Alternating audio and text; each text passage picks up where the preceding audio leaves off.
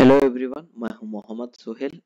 दोस्तों, आज India bulls housing finance limited पे मैं आपको एक अच्छा सा अपडेट दूँगा और डिटेली समझाऊँगा कि इंडिया बुल्स के अंदर फ्रेश बाइंग कहाँ पे होगा। अभी आप मेरा पिछला वीडियो देखो। पिछला वीडियो कब का है?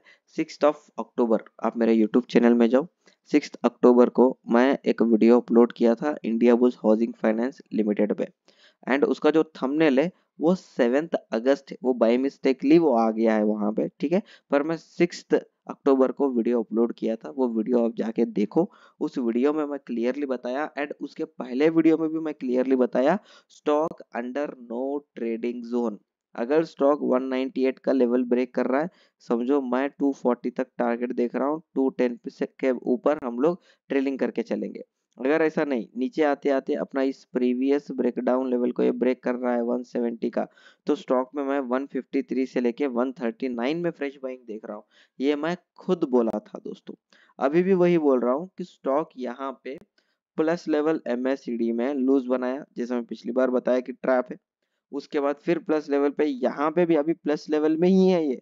ये अभी तक न्यूट्रल ब्रेक नहीं किया। न्यूट्रल के लिए काफ़ी गैप है। जब तक ये न्यूट्रल ब्रेक करके इस तरीके से पोजीशन बनाएगा, फिर क्लब करके फिर इस तरीके से सेलिंग लेके जाएगा। इसका पुराना काम है सेलिंग में सेलिंग बाइंग में सेलिंग लेके जाना सेलिंग में बाइंग लेके जाना पब्लिक को कंफ्यूज करना, ये स्टॉक का काम है।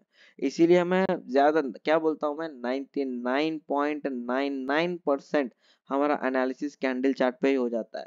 बस थोड़ा बहुत डाउट है कि हमारा एनालिसिस सही है, गलत है तो हम लोग कंफर्मेशन के लिए एम और आरएसआई देखते हैं। अभी आरएसआई में आप ऑब्ज़र्व करो मल्टीपल टाइम ये ओवरबॉट में रहा ओवरसोल्ड नहीं हुए जैसा। तो अभी इसका ओवरसोल्ड एक बार हो गया तो मल्टीपल टाइम ओवरसोल्ड होगा दोस्तों, क्योंकि कितना मल्टीपल टाइम ओवरसोल्ड में होता है, उतना मल्टीपल टाइम ओवरबॉट में होता है। फिर ओवरसोल्ड में होता है तो ओवरबॉट में होता है, इसका काम ही है कि पब्लिक को डराना, सताना, धमकाना एक तरीके से समझो।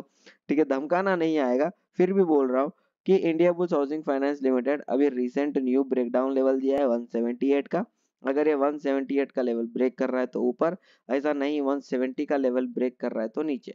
इतना समझ के चलना India bulls housing finance limited में कि हम लोग अगले एक डेढ़ महीने तक इसमें पैसा नहीं लगाएँगे दोस्तों। तो यही था मेरा update Indiabulls Housing Finance Limited पे। अगर आपको स्टॉक पे एनालिसिस समझ में आया तो वीडियो को लाइक करिए शेयर करिए एंड यूट्यूब चैनल को सब्सक्राइब कर लीजिए। Thank you for watching my video